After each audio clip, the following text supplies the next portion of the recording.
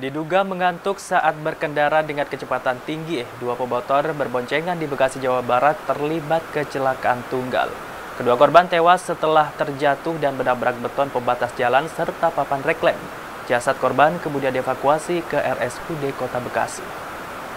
Dari rekaman video amatir yang direkam salah seorang warga, kecelakaan tunggal dua pengendara motor yang berboncengan terjadi di Jalan Raya Sultan Agung, Keranji, Kota Bekasi Rabu pagi tadi. Korban yang diketahui bernama Hamdi dan Setiawan warga kota Bekasi dilaporkan tewas di lokasi kejadian setelah sebelumnya sempat terjatuh usai menabrak beton pembatas jalan serta tiang papan reklem. Kedua korban yang berkendara satu motor tersebut tiba-tiba oleng dan menabrak beton saat melaju dengan kecepatan tinggi. Banyak orang tuh, wah tabrakan nih.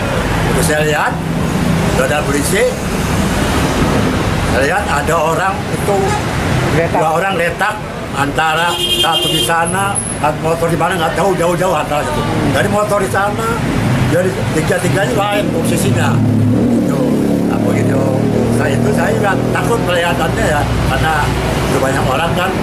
Akhirnya saya laporan kemarin nih warga semuanya pada datang ke sana dari dan kelanjutannya saya juga apa namanya begitu banyak mobil macet hmm. datang nah kira-kira setengah jam kemudian tuh datang ambulan.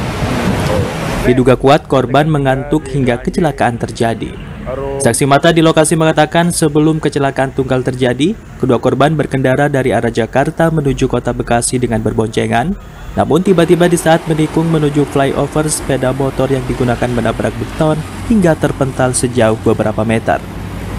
Jasad korban kemudian dievakuasi ke RSUD Kota Bekasi, sedangkan kasusnya kini dalam penanganan unit laka lantas Polres Metro Bekasi Kota.